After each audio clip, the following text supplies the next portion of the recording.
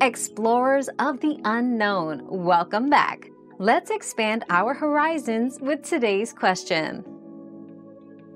When the baby drops into your pelvis, expect to experience easier breathing as pressure on your diaphragm decreases and increased pelvic pressure. You may also feel a change in walking pattern, more frequent urination, and possible pelvic discomfort.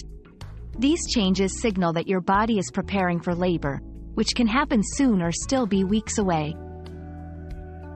Your daily dose of discovery ends here, but the journey of learning never stops. Subscribe and join us again for more answers tomorrow.